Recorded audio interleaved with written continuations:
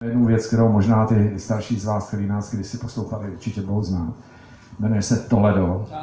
A ta písnička vyšla mnohokrát jako s Big Bandem a já jsem ji natočil solově na piano a, a s Ackermanem jsme ji natočili a Jazz Clay natočil asi třikrát. A je to taková jednoduchá pecka, jednoduchý lauf ve španělské frigické stupnici a pak se kolem toho hraje. Hraje se na to dobře a snadno. Takže to, to bude poslední před přestávkou.